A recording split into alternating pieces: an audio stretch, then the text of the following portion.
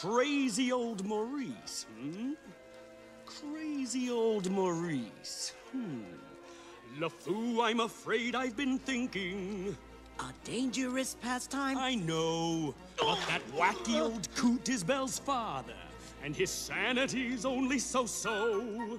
Now the wheels in my head have been turning since I looked at that loony old man. See, I promised myself I'd be married to Belle, and right now I'm evolving a plan. If I tried to get out of it, Yes. then we got out of this. No, would she? I...